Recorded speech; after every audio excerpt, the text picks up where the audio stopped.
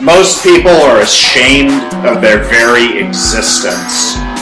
The contrast between our rich inner lives and our awkward public presentation, between our ideals and the ways we actually think and behave, can be overwhelming at times for the best of us. We see everyone else's highlight reel, but we get our own unedited raw feed for anyone with a pinch of self-awareness, assembling the right director's cut is the struggle of a lifetime, filled with agony, regret, and solitary insights we can never really share.